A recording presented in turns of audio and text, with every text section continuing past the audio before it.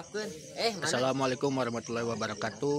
Eh, hari ini Sabtu tanggal 10 Oktober 2020.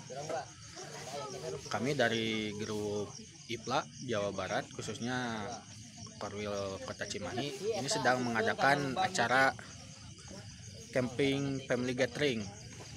Family gathering ya. Eh, tadinya kita akan sowan ya silaturahmi ke Galunggung, Tasikmalaya.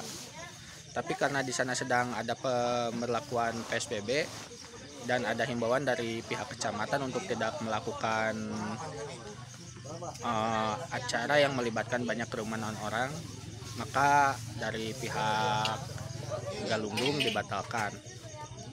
Nah, untuk mengobati rasa kecewanya anak-anak, ini kita sedang mengadakan acara camping family gathering. Nih. Ini kita tuh di sana kelihatan gak teman-teman? Tuh, ini lagi proses pemasangan tenda.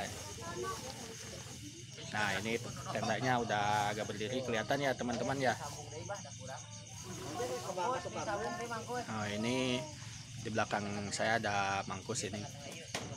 Jadi ada Mang Eh, ini bentar teman-teman kita ngobrol sama eh, Presiden Iplan nih.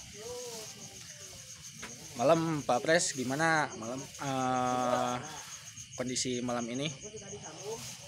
Lumayan dingin. Ah. Yang pertama yang penting bahagia aja dulu lah. Nah ini ini kan sebenarnya acara ini ngedadak ya Pak Pres ya. Ya betul. Eh, dalam rangka mengobati sakit hati kan ya. Hmm, ya. Yang kemarin Yang kita terjadi. acaranya kita mau ke Galunggung. Galunggung Tasik. rencana kan kemarin itu mau 70 orang ya ke Galunggung ya. Ya. Udah Bawa bis. nah kita udah siap-siap jet bus, jet bus udah persiapan 1000% lah. persiapan udah mateng Udah tiap mateng. orang bawa ratusan layangan. Cuman kan dari pihak Galunggung membatalkan karena dari pemerintah Iya. setempat Ada Covid. ah, PSBB. PSBB, PSBB. ah, pemberlakuan PSBB teman-teman. Jadi eh, tetap kita utamakan yang lebih utama gitu. Yes.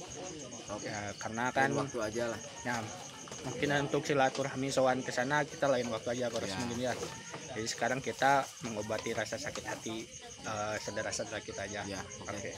Oke, makasih Pak Pres ya. Ya, sama-sama. Oke. Dah. Kita- Merdeka.